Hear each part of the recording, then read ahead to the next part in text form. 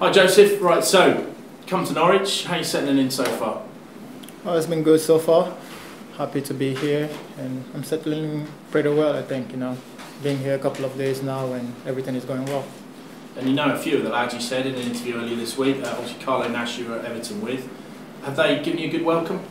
Yeah, they have almost, you know, it is a good atmosphere over here. I think I played with some of the lads, some I knew when I was here in the Premiership, and some I've watched playing as well. And so we all know football is um, it's like a tradition, so it's pretty easy for me to settle in. But I think um, hopefully I need I need some time, a bit a bit more time. But everything is going pretty well. Everyone has been very welcoming. Yeah, you said a few other clubs were in for you around the world.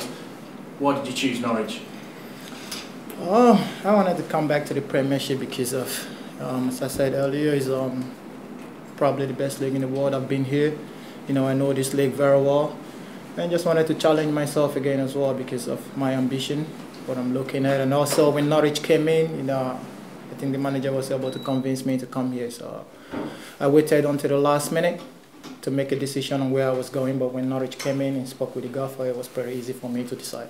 So obviously Chris Hughton's someone you knew when you played for Everton and, and someone you, you've got a good relationship with, I guess. No, not a good relationship because I, I knew him as a manager. You know, when I, when I was at Everton, I think he was Tottenham, Newcastle, and you know, so I knew him as a manager, but we never really had a strong relationship. But speaking to him on the phone, it was pretty easy for me.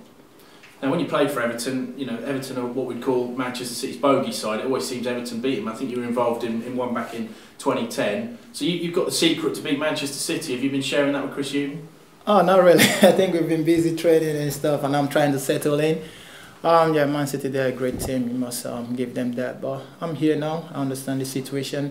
You know, Norwich needs to stay up the league, and they're a good team. Probably they've been unlucky, so it's always going to be tough. But this is football, so you never know. Yeah, Tim Sherwood, the Tottenham manager, said that they're the best team in the world. Would you agree with that? I'm sure you've seen a few teams over the years. Yeah, probably on their on their day. You know, but from my experience at Everton, you know, it's not always easy, but you can beat every, anyone on your day. So it depends how you turn up. You know, especially Norwich playing at home, and it's going to be a very difficult game. So hopefully, um, be looking for a result. Yeah, you had two appearances for Fenerbahce before their winter break. Um, so obviously not, not a lot of games this season, but, but you feel ready to sort of kick the, hit the ground running and start on Saturday if, if required. Yeah, if required. I know the, the, the gaffer hasn't named this team yet, you know, but I've trained pretty well you know, done pre um, preseason, mini preseason, and, and involved in the three games that we played. I think I'm up and ready, you know. But obviously, I don't know if I'm playing or not. But I might need one or two games. But I'm very experienced as well, so if I'm if I'm called upon, then I have to use my experience and do my best. Now you um, you might well have a partnership with Sebastian Bassong, who's obviously a Cameroon international. Is he someone that you've played against for, for Nigeria? I'm not really against Nigeria, not really um, international football, but while I was in the Premiership, I played against him a couple of times. He's a good player, so I'm happy. You know, I came here, I've met a couple of good players, and um, hopefully we can all work together and um, achieve what we want. Have you seen a lot of Norwich while you've been in Turkey? Obviously, they will get the Premier League football out there. Any thoughts on, on what they've been doing this season? Yeah, I think um, from when I heard they were interested in me, I, you know, I think I, I try to follow them a little bit. Um, they've been unlucky. They've played some good football. They've been unlucky, but that's what you get from the Premiership, full of surprises. You can play well and, and lose games, and I think at this point it's about the results.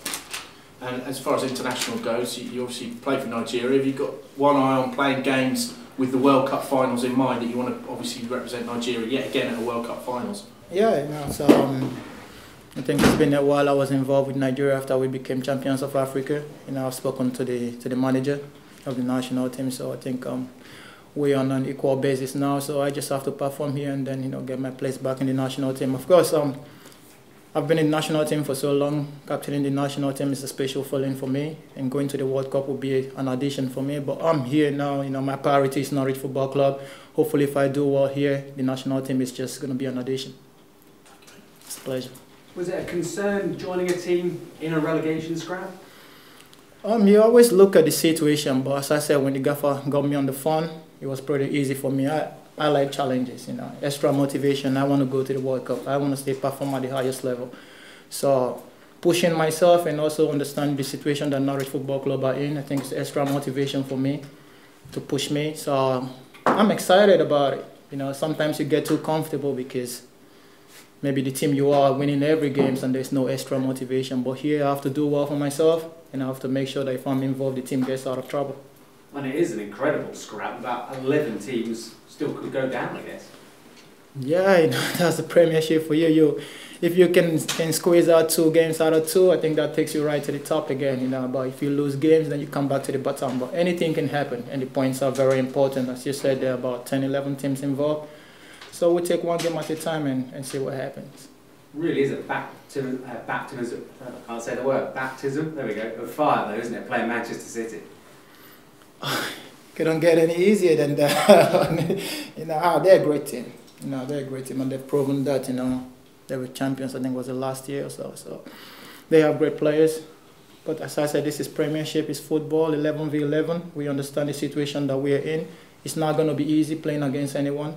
But hopefully, you know, if we can put ourselves together as a team, you know, we can surprise people. So come Saturday, anything can happen. Joseph, if you had an initiation um, challenge from your teammates or anything like that since arriving at Norwich? Uh, no, it's been going pretty well. Everything has been going like you know the lads have fun enough, and you know the past few days, three days now, it's been it's been fun for me. They've been very welcoming. You know, I'm happy with everyone, happy with what I've seen, and then hopefully, I'm sure I'm gonna get some some stakes in the next couple of days. But right now, we're just getting to know each other. And, and are you ready to, to start on Saturday if, you, if you're asked to start? Do you feel like you're fit enough and ready to go? I don't. I think the gaffer has to decide. But um, as I said, I'm, I'm experienced. I know the situation of there are many times that I've played when I'm not fit. But I think at the moment, I think I'm almost ready to go. So if I'm called upon, obviously I'll do my best and, and make sure I get the job done. And would, would, you happy to play right back or centre back? I don't know. You know, I came here to help this team. I understand the situation, so you know, it's been a long time I played right back. So, but I can always do a job. I can always, if I'm called upon to do a job, I can always do a job. But you know, I think I prefer playing in my position. You know, because um, this is where I'm very experienced. But this is football. I'm here to help because so if I'm called upon, I think I'll be ready to go. And which players in particular have impressed you in, in training in the last few days? I think most players players have, but I think um, Nathan, I didn't I didn't know how, how good he was until I saw him. You know, he's he's that that big, and you know, when he gets on the ball, he can do the tricks and do the magic. I think they have a, a lot of couple, couple of good players here. So, but Ned, Ned Nathan, I, I trained with him like a couple of few days now, so he's been very good. I think you know, on his day he can he can run down anyone. Thank you. Joseph, um, what did the manager say when he spoke to you? What did he want you to bring into the club? Basically, my, my experience, and then um, I think probably he must have seen some of the games that I played this season.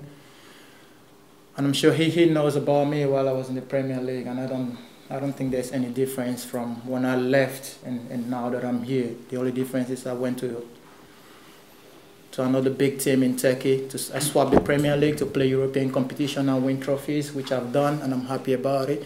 So now I'm here. I'm just, you know, I'm looking forward to the challenge.